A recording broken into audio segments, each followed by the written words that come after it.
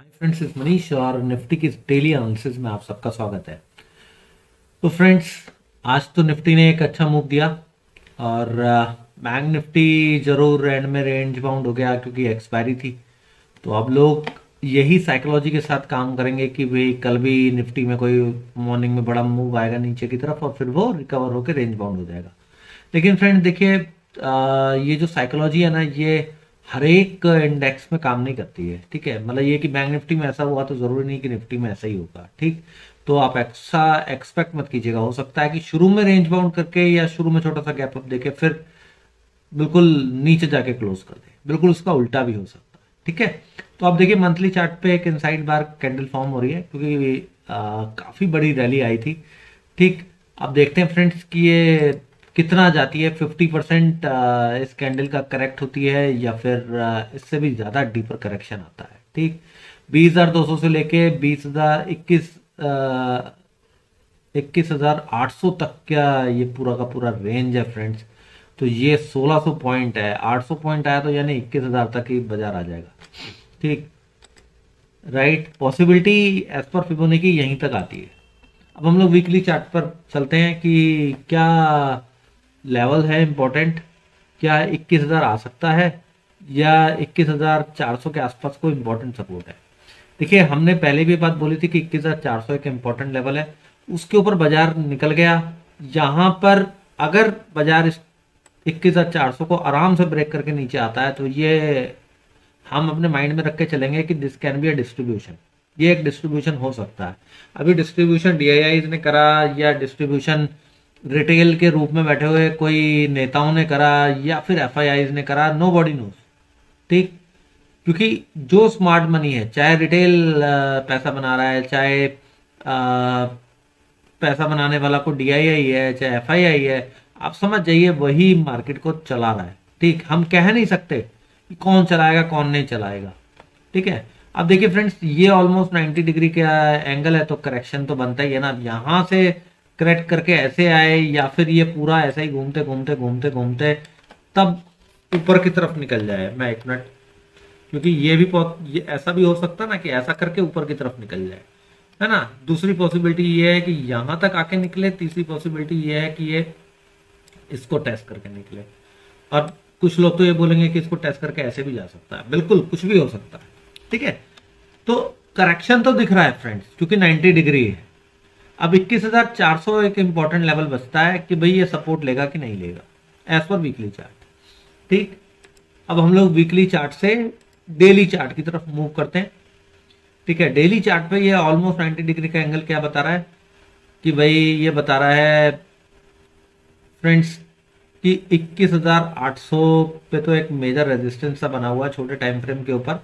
और इसने फ़िलहाल उसके नीचे 21,640 को ब्रेक कर दिया है। 21,500 के आसपास आ जाके सपोर्ट लिया है जो कि इस ऊपर जाती हुई रैली का 1.618 था। ठीक है? तो 21,420 जो है एक इंपॉर्टेंट सपोर्ट का काम करना चाहिए। अगर वो भी ब्रेक हो जाता है फिर आपको क्विक फॉल देखने को मिलेगा बाज़ार में। ठीक है? अब हम लोग अवली चार्ट पे चलते हैं।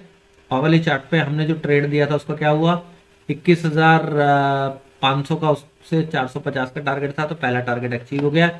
ठीक, ये मैंने क्यों दिया था? मैंने इसलिए दिया था कि इसके बाद कंसोलिडेट कर सकता है। अब इक्कीस पाँच से या 450 से सौ या डेढ़ सौ पॉइंट की एक रेंज बना के कि 600 तक कंसोलिडेट करके ये यहीं, कहीं से अगर वो ब्रेक करेगा तो फ्रेंड्स आपके ऑप्शन का प्रीमियम भी तो लूज होता है।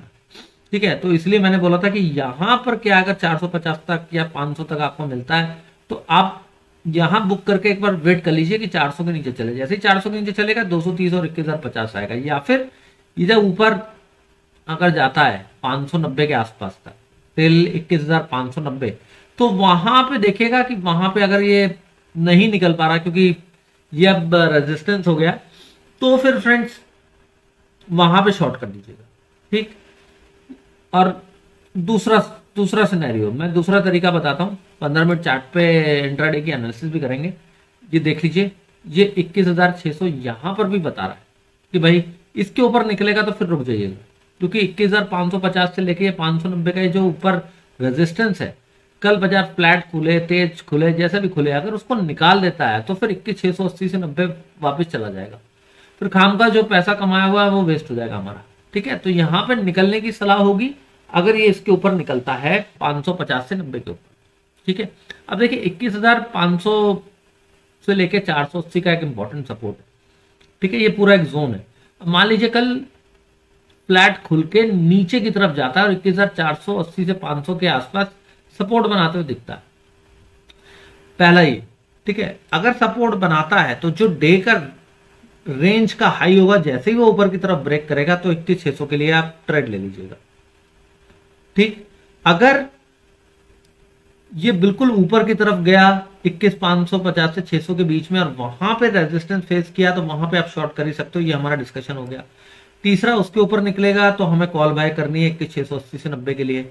चौथा सिनेरियो ये है कि अगर इक्कीस हज़ार चार सौ अस्सी को ब्रेक कर देता है कंसोलिडेट करके ब्रेक कर देता है, फिर हमें क्या करना है? फिर हमें शॉर्ट करना है, पहला टारगेट होगा इक्कीस हज़ार चार सौ तीस, फिर वहाँ से तीन सौ नब्बे तक वेट कर लीजिएगा। तीन सौ नब्बे के जैसे नीचे निकले, इक्कीस हज़ार तीन सौ तीस का हमारा दूसरा टारगेट हो। जाएगा आप बोलोगे कि इक्कीस हज़ार तीन सौ नब्बे तक चार सौ तीस से तीन सौ नब्बे क्यों वेट करना? ठीक? तो देखिए फ्रेंड्स ये 430 के आसपास डिमांड जोन देखिए कितना ज़बरदस्त था। ठीक है ना? यहाँ से लेके 390 तक में अगर बाज़ार थोड़ा सा कोई लोअर वीक बना के भी ऊपर रिकवर हो गया ना तो हम लोग ट्रैप हो जाएँगे। तो तो फ्रेंड्स 390 के नीचे जैसे ही चले आप 330 के लिए ट्रेड ले लीजिएगा 60 पॉइंट और मिल जाएँगे आपको। ठीक है? राइट क्यों मैंने ये बात बोली? ये आपको क्लियर हो गया होगा। ठीक है? और ये मैंने ऊपर क्यों बताया? क्योंकि ये रेजिस्टेंस है। 590 तक। ठीक है? उसके ऊपर 680 690 आ जाएगा। ठीक है? और जो स्विंग ट्रेडर्स हैं, उनको भी मैंने बता दिया कि भाई, अगर ऊपर निकलता है, ऊपर टिक जाता है तो क्लोज कर दीजिए और वापस उसके नीचे ट्रेड ट्रेड करने लगे तो चाहे दोबारा एंट्री ले लीजिए। मैं तो ले लूँगा एंट्री। क्योंकि फिर मैं पंद्रह मिनट के हिसाब से ट्रेल करके फिर उसे ओवरली के हिसाब से ट्रेल करना शुरू करूँगा, क्योंकि मेरे को लग रहा है कि पॉसिबिलिटी है, इसी हफ़्ते भी पॉसिबल है इक्कीस, एक सौ, दो सौ तक। और हमने जो टारगेट रखा है, वो इक्कीस हज़ार पचास तक का नीचे डाला है कि अगर इक्कीस हज़ार चार सौ के नीचे चलेगा तो। फिर साढ़े तीन सौ पॉइंट हमें मिलेंगे। ठीक है? तो आई होप आपको एनालिसिस समझ में आई होगी फ्रेंड्स एनालिसिस अच्छी लगी हो तो चैनल को सब्सक्राइब करके बेल नोटिफिकेशन ज़रूर ऑन कर दीजिएगा, जिससे कि आने वाली वीडियोस की नोटिफिकेशन मिलती रहे।